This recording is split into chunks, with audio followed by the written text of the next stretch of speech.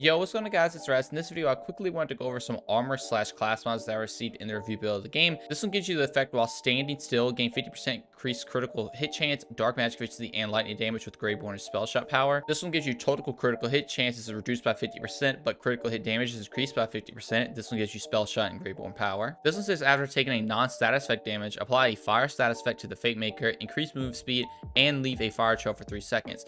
While this effect is active, damage dealt is increased by movement speed. This also gives Spore Warden and Clawbringer power. This one says increase fire damage by 10% for each unique enemy hit for a brief period. This effect stacks up to 10 times, and it gives Spore Warden and Graveborn power. Now finally, the most interesting one is this one. It gives Spellshot and Spore Warden power. It actually doesn't have a legendary effect, but as you see, it gives 5 total stats, whereas the other ones normally give 3 with a legendary effect. So I imagine this may be pretty interesting in some builds, but we'll have to wait and see. But anyway, this was from the review build, so if you guys like to see full guides on all these, be sure to stick around, consider subscribing. But thank you all so much for watching, and I'll see you in the next one. Peace.